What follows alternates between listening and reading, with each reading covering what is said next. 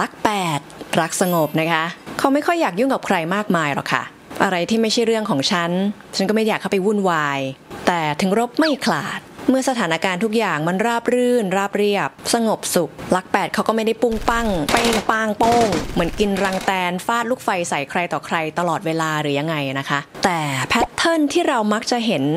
บ่อยๆ แล้วก็เด่นชัดมากๆสำหรับเพื่อนเบอร์ 8 เป็นหัวเชื้อที่กลายเป็นประเด็นของเพื่อนลักแปดก็อยู่ที่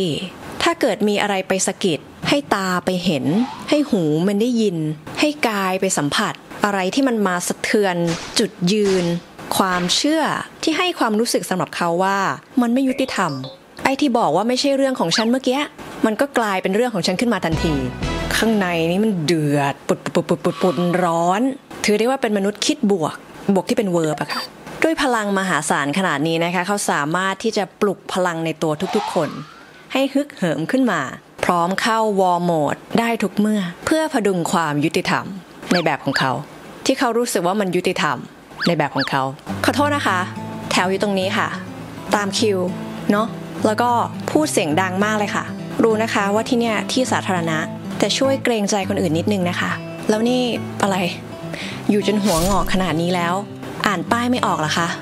ไม่รู้ความหมายหรอ ว่าเขาห้ามสูบบุหรี่ เด็กก็ยืนอยู่เต็มเนี่ยค่ะยังจะมีหน้ามาพ่นใส่หน้าเด็กมันอีก ไม่รู้มีชีวิตอยู่ไม่ได้ยังไงหัวงอกขนาดนี้แล้ว ไม่อายบ้างเหรอคะ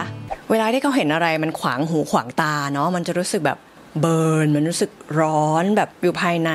รู้สึกโกรธรู้สึกทนไม่ไหวแบบ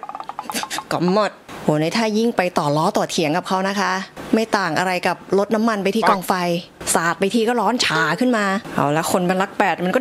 ควบคุมตัวเองอยู่ อยู่ดีหัวก็ร้อนขึ้นมา เหมือนเขามาทำให้พ่อแม่เราตายยังไงอย่างนั้น บางทีก็ไปอินไปเดือดแทนคนอื่นเขาอีก เห็นอะไรขัดหูขัดตาหน่อย เป็นต้องเข้าไปควบคุมจัดแจงจัดการ ไม่ได้มึง อย่าไปยอมมันนะไอ้พวกเหลวไม่มีน้ำใจไร้จิตสำนึกไม่มีจิตสาธารณะ จะให้ฉันพูดดีๆได้ยังไง ดูที่มันทำสิ นี่มันกี่รอบแล้วคิดสิ จะเข้าบ้านตัวเองมันไม่ต้องยากขนาดนี้ปะวะ ถ้าไม่มีใครมาสารจอดขวางหน้าบ้านอะมึงคอยดูกู มึงคอยดูกู ดูกูเลย เออ กูได้ยินตั้งแต่รอบแรกแล้ว มึงรอดูกูเลยจ้ะเดี๋ยวรอดูจ้ะ